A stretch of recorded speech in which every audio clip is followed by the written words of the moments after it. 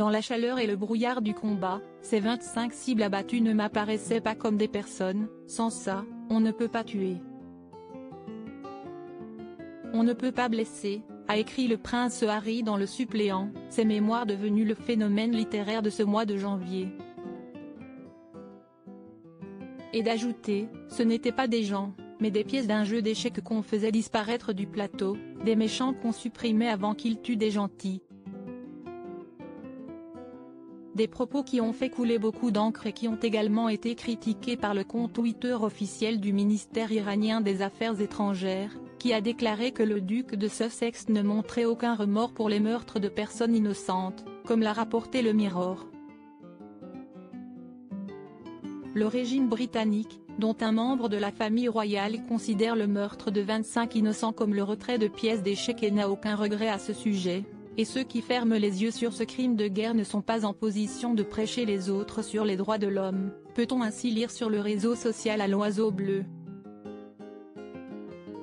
Mais ce n'est pas tout, comme l'a rapporté Sky News, un proche de plusieurs victimes afghanes mortes en 2011, avant que l'époux de Meghan Markle ne commence ses missions au sein de l'armée britannique, a réclamé qu'il soit jugé par un tribunal.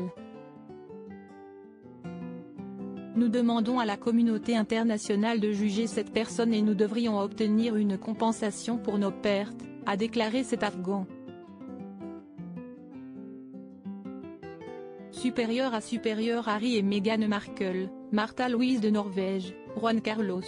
Ces scandales qui ont marqué le Gotha en 2022 c'est gravissime ce qu'il dit invité à discuter du livre du prince Harry sur le plateau de Touche pas à mon poste, C8, mardi 17 janvier, le spécialiste de la question royale Bertrand Decker s'est insurgé contre les déclarations du fils de Charles III à propos de son expérience militaire en Afghanistan.